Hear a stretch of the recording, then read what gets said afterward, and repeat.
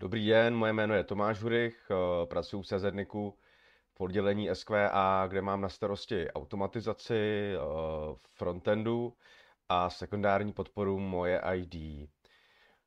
Budu mluvit o tom, co děláme v našem oddělení a následně druhá část bude o rozvoji výkonnostního testování u nás, čemu jsme se věnovali v tomto, v tomto roce. Tady ještě, než se pustím do toho stručného výčtu uh, těch našich hlavních činností, tak eh, bych řekl, co vlastně znamená zkrátka SQA.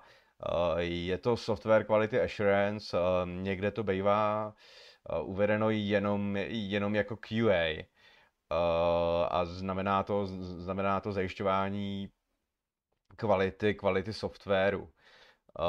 To, čemu se věnujeme primárně, tak z největší části je to testování, ať už automatické nebo manuální a, a psaní, psaní testů, psaní testovacích scénářů. Potom je to součinnost při uživatelském zadání, při návrhu, například, například při návrhu nové aplikace nebo aktualizace textů a funkcionality nové aplikace. Dále je to sekundární technická podpora, takže tam se jedná o podporu registrátorů, implementátorů Moje ID a podpora koncových uživatelů Moje ID. A dále se věnujeme dokumentaristice. Tady, jak již plyne z názvu, tak hlavní náplní ohledně dokumentaristiky je udržování interní a veřejné dokumentace. A kde tu dokumentaci ještě můžeme rozdělit na uživatelskou, administrační a vývojářskou. A Dále se věnujeme překlady, překladům textům uh, z češtiny do angličtiny, z angličtiny do češtiny a návrhům a revizím textů. Něco málo k manuálnímu testování. Uh, testujeme na podporovaných prohlížečích uh, Mozilla Firefox, Google Chrome, Chromium, Microsoft Edge, Safari.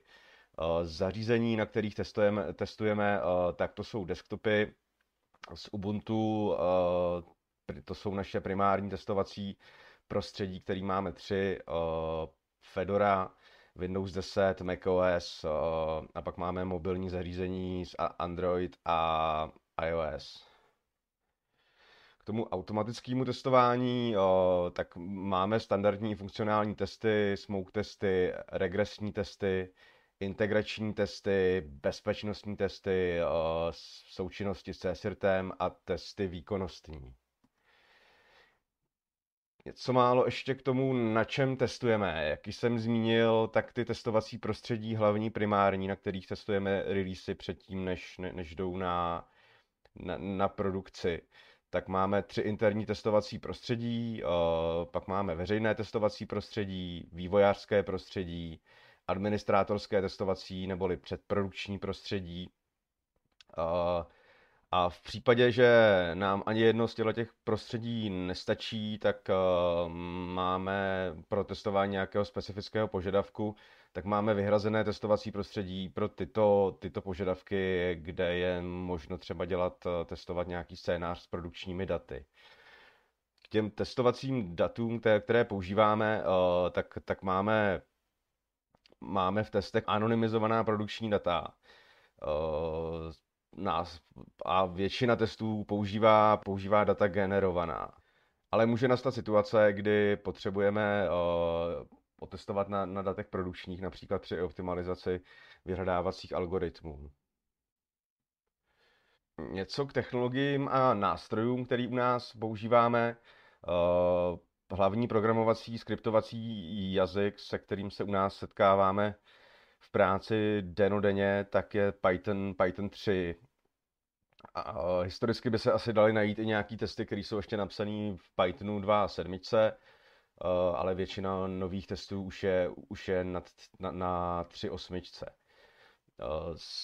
Knihoven pro Python, který jsme samozřejmě v testech používáme, používáme poměrně hodně knihoven, ale z těch, z těch, který jsme chtěli, chtěli tady zmínit, tak, tak používáme Paramico pro vzdálenou zprávu uh, a spouštění, spouštění příkazů na, na vzdálených serverech přes SSH.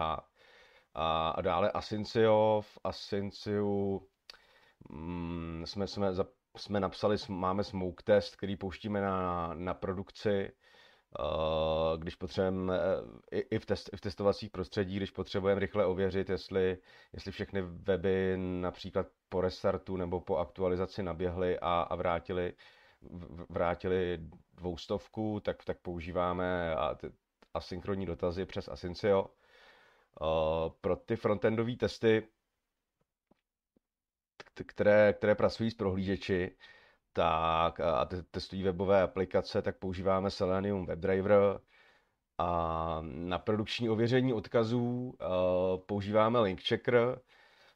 Ten vlastně projde celou stránku a zjistí si, jaký tam jsou odkazy a pokouší se na ní dostat. A v případě, že se na ně nedostane, tak, tak z toho vypadne docela pěkný, pěkný report, a ten se následně posílá na oddělení, eh, pod který spadají ty, ty weby, na kterých se našla ta, našly ty chyby.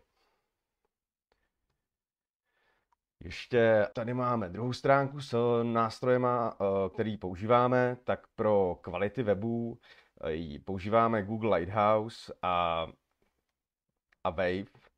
Pro příkazy z SQL, pro práci s SQL používáme PostgreSQL a nebo grafický Beaver, editační nástroje, PyCharm, v tom jako tester trávíte de facto většinu času, že v tom ty, v tom ty testy píšeme a debugujeme. A někteří kolegové používají Vim a pro jednodušší uh, práci s textem, nebo, nebo pro jednodušší práci s, s, s editací nějakého skriptu, tak třeba i Nano. Eh, potom ještě k monitoringu, to spíš eh, je záležitost administrátorů, ale vzhledem, vzhledem k tomu, že, že začínáme pravidelně, pravidelně testovat tu zátěž na testovacích prostředích, tak, eh, tak je potřeba vidět, co se na těch konkrétních serverech děje. Takže nám nasadili administrátoři LibreNMS, takže vidíme přesně, přesně jako, jak, jaká je zátěž CPUčka, paměti, disku, jak je, jak je celkový load. A ještě používáme Truk, to je administrátorský nástroj, kam se dá napojit i Cingan nebo Nagios. A, a ten taky používáme v testech teda. A ten taky používáme v testovacích prostředích. A teď se dostáváme k testování výkonnostnímu. Těch důvodů pro výkonnostní testování je, je hodně.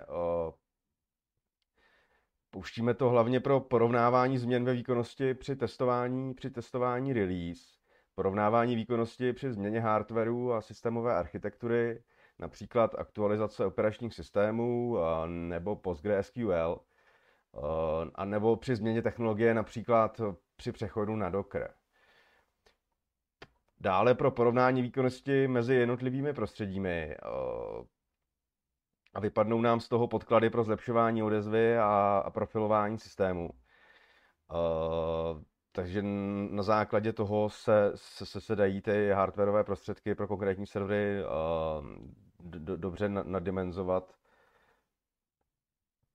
A, a dělali jsme to i u nás, protože jsme jednak jsme přecházeli na, na Docker. Uh, potom byl poměrně velký update, co se týče serverů. Uh, a když jsme na tom začali pouštět ty, ty výkonnostní testy, tak, tak jsme zjistili, že jsme u většiny serverů na, na, na limitu zahlcení paměti.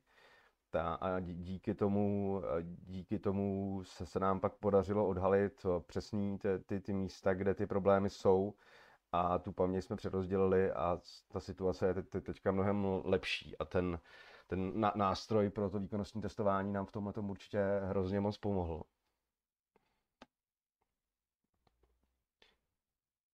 A ten nástroj jsme vybrali na základě toho, že jsme od, od toho měli nějaké očekávání. Těch nástrojů jsme zvažovali poměrně hodně. Eh, já tady nebudu všechny zmiňovat, to spíš jenom zmíním ten, pardon, ten, který jsme vybrali ty klíčové požadavky byly, aby to byl open source a, a, a, a aby to bylo hodně výkonný aby to bylo napsané v Pythonu, protože v Pythonu, v Pythonu děláme všichni, všichni testeři, kteří, kteří u nás dělají automatizaci. Takže z důvodu, aby jsme tomu rozuměli všichni a nebylo třeba se učit nějaký, nějaký jiný jazyk. Pak samozřejmě uživatelská přívětivost, aby se s tím do, do, dobře pracovalo, konfigurovatelnost, aby bylo možné navodit si jakýkoliv scénář, který, který potřebujeme. Dále provoz a uchování dat v našem prostředí.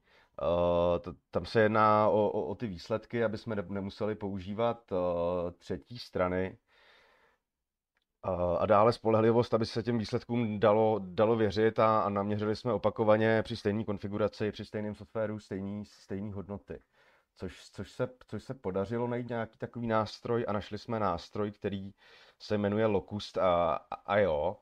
Uh, teda respektive Locust IO je stránka, nástroj se jmenuje, uh, nástroj se jmenuje Locust, co, co, což znamená kobylka.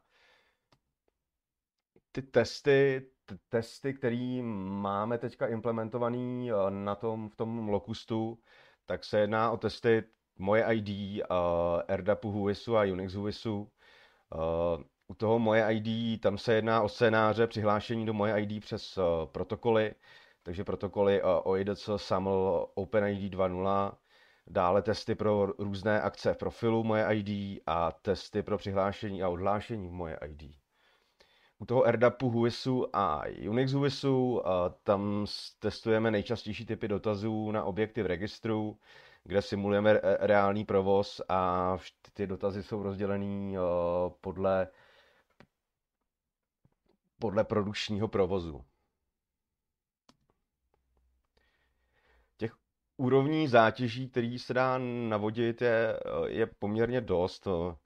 My používáme zátěž, zátěž běžnou, kde nám jde o ověření stability běžného provozu. Je to, jsou to testy, které třeba pustíme i, i, i přes noc, a, a, aby jsme viděli, že tam, že tam není nějaký, nějaký problém. Potom máme, ty, máme testy, které používáme na vyšší zátěž, tam jde o zjištění a ověření výkonnostních charakteristik a pak máme, pak máme testy, t- testy pro zjištění výkonnostních limitů, eh, kde navazujeme maximální možnou, možnou zátěž, dokud, dokud ta aplikace, aplikace nespadne. Tam de facto ty testy jsou, jsou stejný, jenom se to liší v počtu, v počtu uživatelů, který, který, který se snaží dotázat na, na ty jednotlivé služby. K sledovaným parametrům, který sledujeme potom ve výsledcích toho, to, toho co dostaneme, do, do, dostaneme z toho, z toho testu, a, tak je to počet provedených dotazů za vteřinu, dále průměrný počet provedených dotazů za vteřinu, počet chybných odpovědí, nevalidní nebo očekávaná odpověď, žádná odpověď, případně pát aplikace. Eh, ta, ta doba odezvy na odpověď, tak sledujeme minimální, maximální, průměrnou, medián, percentily a, eh, a velikost dat v odpovědi. U těch percentilů eh, ta, ta, tam sledujeme kolem 95. až 98. 8. percentilu.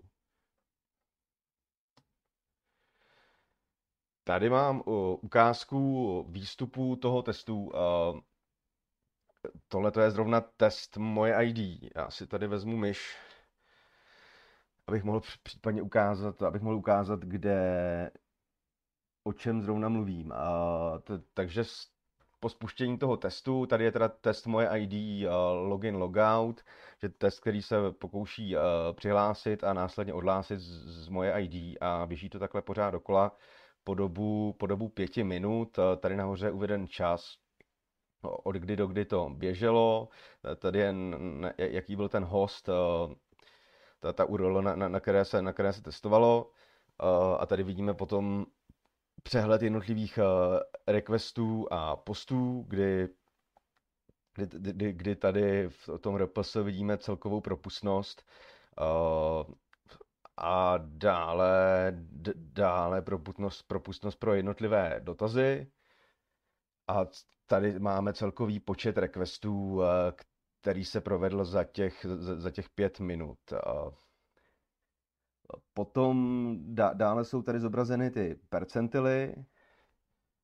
A ještě tady mám jednu tabulku, kdy v tom HTML vám to ukáže takovýhle pěkný grafík, kde kde tady zrovna jsem, když jsem dělal screenshot, tak, se, tak jsem tady měl v tomhle tom bodě najetou myš, a takže vám to ukazuje přesně, přesně jaká byla ta, ta propustnost, kolik tam bylo těch dotazů, tady ta červená čára vám ukazuje, kolik tam bylo chyb a kolik uživatelů v té v v době se pokoušelo ty, ty, ty dotazy, dotazy dělat.